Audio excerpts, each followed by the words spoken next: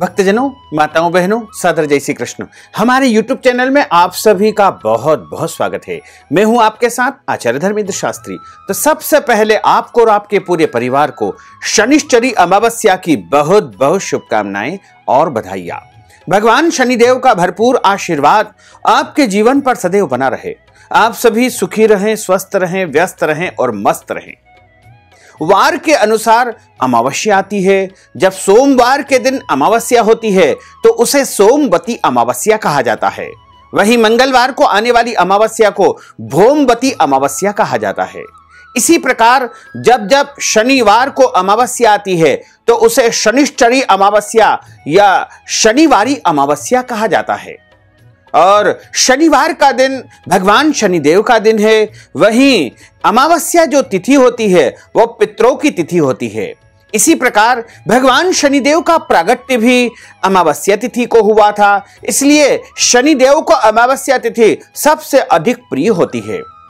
और ऐसे में यदि शनिवार के दिन अमावस्या आती है तो यह बड़ा अद्भुत और दुर्लभ संयोग होता है। और इस बार आषाढ़ माह के कृष्ण पक्ष की जो अमावस्या है, वो शनिवार को आ रही है। वैसे तो अमावस्या तिथि का प्रारंभ 9 जुलाई 2021 शुक्रवार के दिन से ही हो जाएगा। यानी शुक्रवार को पूरे दिन अमावस्या रहेगी। वहीं 10 जुलाई को सूर्योदय से लेकर के सात बजकर के छियालीस मिनट तक अमावस्या तिथि रहेगी। यानी शनिवार के दिन 10 जुलाई को सूर्योदय व्यापिनी अमावस्या है, इसलिए पूरे दिन अमावस्या मानी जाएगी। यदि आप पितृ कर्म पिंडदान, तर्पण, श्राद्ध इत्यादि कर्म करना चाहते हैं, या फिर प्रत्येक अमावस्या को आपके यहाँ पितृ संबंधित कोई कार्य संपन्न होता है तो आपको 9 जुलाई 2021 को शुक्रवार के दिन ही पितृ कर्म संपन्न करना चाहिए। क्योंकि मध्यान्ह व्यापिनी जो अमावस्या होती है, उसी दिन पितृकर्म संपन्न किया जाता है। वहीं शनि अमावस्या के जो उपाय है, यानी शनिश्चरी अमावस्या से संबंधित कोई भी कार्य यदि आपको करना है तो वह आपको 10 जुलाई 2021 शनिवार के दिन ही करना है। बोलिए सदगुरुदेव भगवान की जय। गोपाल कृष्ण भगवान की जय। श्री वृंदावन बिहारी लाल की जय। पित्रेश्वर भगवान की जय। द्वारकाधीश भगवान की जय। गुरुर्ब्रह्मा गुरुर्विष्णु गुरुर्देवो महेश्वरा, गुरु साक्षात् परब्रह्म। तस्मै श्री गुरुवे नमः। श्री अखंड मंडलाकारं व्याप्तं येन दर्शितं येन तस्मै श्रीगुरुवे नमः। कृष्णाय वासुदेवाय, हरये परमात्मने, प्रणतः क्लेशनाशाय, गोविन्दाय नमो नमः। सच्चिदानन्दरूपाय, विश्वोत्पत्त्यादिहेतवे तापत्रय विनाशाय श्रीकृष्णाय वयं नमः। यं प्रव्रजन्तमनुपेतमपेतकृत्यं द्वेपायनो विरह कातर आजुहाव। पुत्रेति तन्मयतया तरवोऽभिनेदुस्तं सर्वभूतहृदयं मुनिमानतोऽस्मि। वसुदेव सुतं देवं कंसचाणूरमर्दनं, देवकी परमानन्दं कृष्णं वन्दे जगद्गुरुं कृष्णं वन्दे जगद्गुरुं। कस्तूरी तिलकं ललाटपटले वक्षस्थले कौस्तुभं नासाग्रे वरमुक्तिकं करतले वेणुः करे कङ्कणं। सर्वाङ्गे हरिचन्दनं सुललितं कंठे च मुक्तावलिं। गोपस्त्री परिवेष्टितो विजयते गोपालचूडमणिं फुल्लेन्देवरकान्तिबिन्दुवदनं वरहावतं सप्रियं श्रीवत्साङ्कमुदार्यकौस्तुभधरं पीताम्बरं सुन्दरं गोपीनां नयनोत्पलार्चिततनुं गोपसङ्घावृतं गोविन्दं कलवेणुवादनपरं दिव्याङ्गभूषणं भजे वरहापीडं नटवरवपुः कर्णयोः कर्णिकारं बिभ्रद्वास कनककपीशं वैजयन्तीं च मालां। रन्ध्रान् वेणोर्धरसुधया पूरयन् गोपवृन्दैः। वृन्दारण्यं स्वपदरमणं गीत गीतकीर्तिः करारविन्देन पदारविन्दं मुखारविन्देन विन्वेशयन्तीं, वटस्य पत्रस्य पुटेशयानं, बालं मुकुन्दं मनसा स्मरामि, बालं मुकुन्दं मनसा स्मरामि। जय जय श्री राधा रमण जय जय नवल किशोर जय गोपी चित चोर प्रभु, जय जय माखन चोर मात मेरी श्री राधिका। पिता मेरे घनश्याम इन दोनों के चरणन में मेरा बारंबार प्रणाम, मेरा बारंबार प्रणाम, मेरा बारंबार प्रणाम। मोहिनी मूरत श्याम की वो मन रही समाय जो मेहंदी के पात में लाली रही समाय धन यौवन एक दिन उड़ जाएँगे, जैसे उड़े कपूर।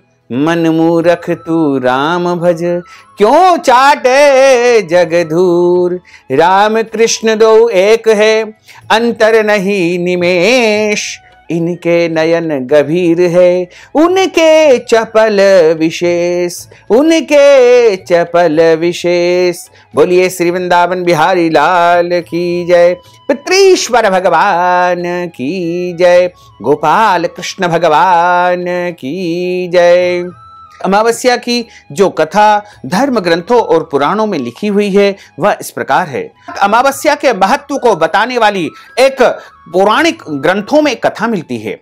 कथा इस प्रकार है कि एक समय की बात है धर्म वर्ण नाम का एक विद्वान और कुशल ब्राह्मण निवास करता था। वह ब्राह्मण बड़ा ही सदाचारी था, योग्य था, कुशल था, विद्वान था और बहुत ही आस्थावान तथा धार्मिक प्रवृत्ति का वह ब्राह्मण था। व्रत उपवास, वह नियमित रूप से किया करता था, तथा सभी नियमों का पालन बड़े अच्छी प्रकार से किया करता था, और ऋषि मुनियों का बड़ा आदर करता था, उनका सत्कार करता था। जहाँ पर भी संतों का समागम होता था, या संत सत्संग होता था, वहाँ पर वो जाता था, और संतों के मुखार विंद से उनकी वाणी का श्रवण करता था। एक समय की बात है कि बहुत सारे संतों का उसके गाँव में आगमन हुआ।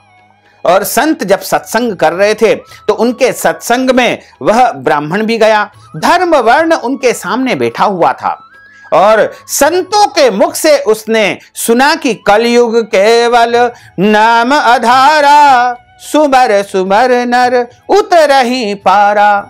धर्म वर्ण ब्राह्मण ने सुना कि कलयुग में केवल प्रभु का नाम ही सर्वोत्तम है। और प्रभु के नाम के अलावा जो कुछ भी है, वो सब कुछ मिथ्या है। यानी कलयुग में केवल और केवल प्रभु का नाम स्मरण कर लोगे तो भी आपको महान पुण्य फल की प्राप्ति हो जाएगी। क्योंकि सतयुग और त्रेता युग में बड़े बड़े यज्ञ, हवन और करोड़ों वर्ष तक तपस्या करने से जो फल प्राप्त होता था, वही फल कलयुग में केवल नाम उच्चारण करने से, प्रभु का स्मरण करने से आपको प्राप्त हो सकता है। तो संतों के मुखार विंद से धर्म वर्ण ने सुना कि कलयुग में केवल नाम का ही एक आधार है। और उसके मन में जो है वैराग्य उत्पन्न हो गया। उसके मन में ऐसा विचार आया कि क्यों मैं इस सांसारिक जीवन को व्यतीत कर रहा हूँ? और उसने तत्काल सन्यास धारण कर लिया, वैराग्य धारण कर लिया, और प्रभु के नाम जप करते हुए वह जंगल में निकल गया। जंगल में भ्रमण करने लगा, प्रभु की आराधना करने लगा, प्रभु का नाम जप करता करता, एकाएक घूमता घूमता वह पितृलोक को पहुँच गया। और जब वह पितृलोक को पहुँचा तो वहाँ पर बहुत सारे पितृ विराजित थे।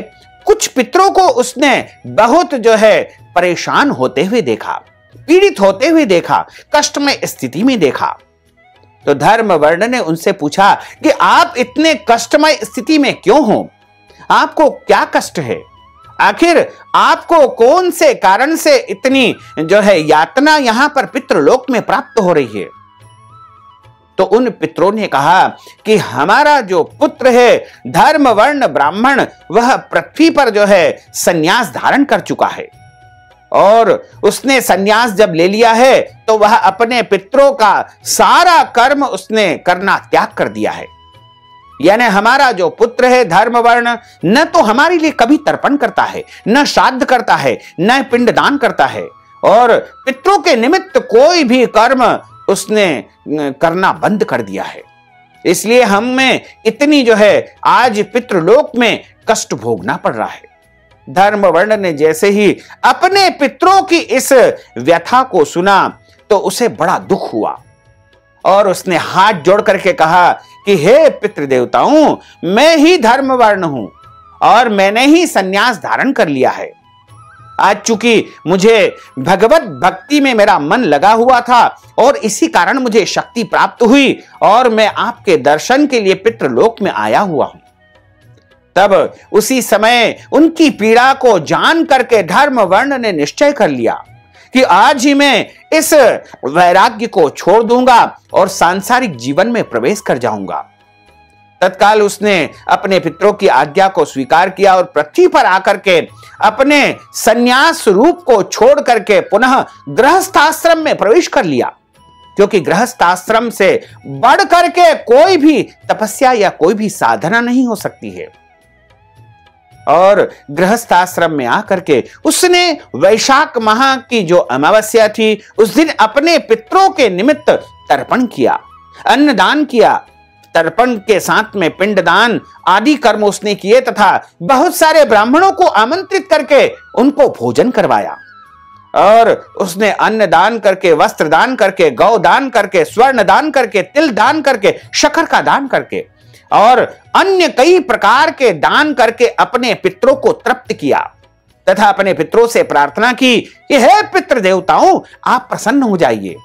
आपने जैसा मुझे आज्ञा दी थी, उसी प्रकार मैंने आपकी तृप्ति के लिए समस्त उपाय किए हैं। उसके पितृ उसी समय प्रकट होते हैं और उसको आशीर्वाद देकर के पुनः पितृलोक को प्रस्थान कर जाते हैं। इस प्रकार वैशाख माह की अमावस्या की जो कथा है, यहाँ पर समाप्त होती है। इस कथा को जो कोई भी पूरी श्रद्धा, भक्ति तथा भावना के साथ में श्रवण करता है, उसकी मनोकामना निश्चय ही पूर्ण हो जाती है। बोलिए, पित्रेश्वर भगवान की जय, श्री वृंदावन बिहारी लाल की जय, गोपाल कृष्ण भगवान की जय। अच्युतं केशवं रामनारायणं कृष्णदामोदरं वासुदेवं हरे। श्रीधरं माधवं गोपिकावल्लभं श्रीजानकी नायकं श्रीरामचन्द्रं भजे।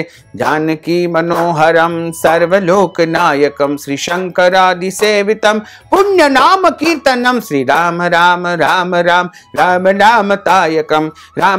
वासुदेवा भक्तिमुक्तिदायकं। रामकृष्ण वासुदेवा भक्ति मुक्तिदायकम रामकृष्ण वासुदेवा भक्ति मुक्तिदायकम रामकृष्ण वासुदेवा भक्ति मुक्तिदायकम रामकृष्ण वासुदेवा भक्ति मुक्तिदायकम बोलिए श्री वृंदावन बिहारी लाल की जय, गोपाल कृष्ण भगवान की जय, श्री द्वारकाधीश भगवान की जय, श्री गोवर्धन नाथ भगवान की जय, श्री गिरिराज धरण की जय, श्री श्याम सुंदर यमुने महारानी की जय, श्री वल्लभाधीश की जय, श्री गुसाई जी महाराज की जय। धर्म की जय हो, अधर्म का नाश हो, प्राणियों में सद्भावना हो, विश्व का कल्याण हो, सनातन धर्म की जय हो, गौ माता की जय हो, नगर बस्ती की जय हो, आज के आनंद की जय हो, कल के आनंद की जय हो, परसों के आनंद की जय हो, बरसों बरसों के आनंद की जय हो। ओम नमः पार्वती पते, हर हर महादेव, हर।